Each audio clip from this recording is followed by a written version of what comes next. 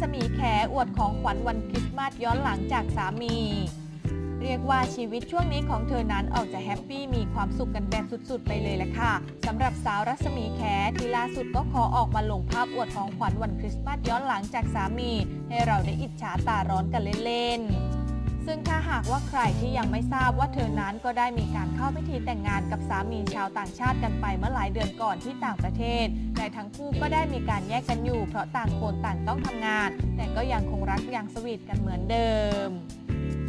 ล่าสุดเมื่อไม่กี่วันก่อนสาวแขของเราก็ได้ออกมาลงภาพอวดชุดของตัวเอง ที่ตนนั้นใส่กางเกงขาสั้นโชว์เรียวขาสวยๆ เพื่อรอรับสามีพร้อมทั้งบอกว่า ช่วงนี้ขออนุญาตเรียบร้อยเป็นเวลา 2 อาทิตย์นะคะ รอสามีกลับค่อยว่ากันใหม่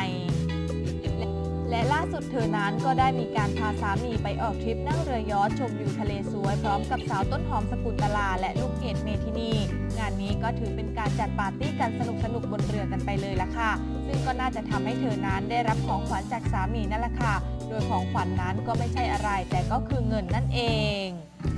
งานนี้คุณแขคงจะชอบของขวัญมากถึงขั้นเอามาลงอวดกันให้ดูกันไปเลย แต่จะว่าไปใครได้ของขวัญแบบนี้แล้วจะไม่ชอบบ้างล่ะ คงไม่มีหรอกเนอะ